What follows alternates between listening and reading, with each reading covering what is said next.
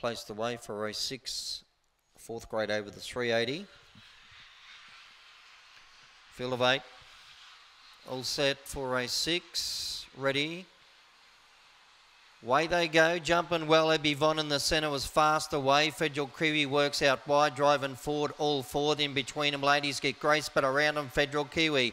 The leader from all forward, ladies get Grace Xena Arena. Then Perfect Pacific for the back. Then we had Evie Von, pretty Cindy, but up the straight. Federal Kiwi is the leader. It's going to hold on, poking through. Xena Arena got second. All forward third, then followed by Ladies Get Grace. Uh, further back we had Perfect Pacific, Pretty Cindy. And Abby Bond got well back with eyes on Meg. But Federal Kiwi number eight wins in 21.89. Defeats number three Xena Arena. One all forward and ladies get grace. So 7.49 they went quick early.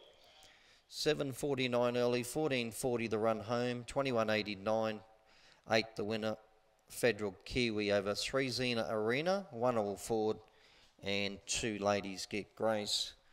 So one and a quarter by a head, one and a quarter lengths by a head, 21.89, 7.49 early, run home 14.40.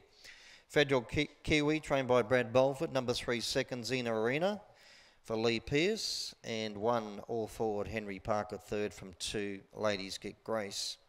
So 8 3 1 and a quarter by a head in a time of 20.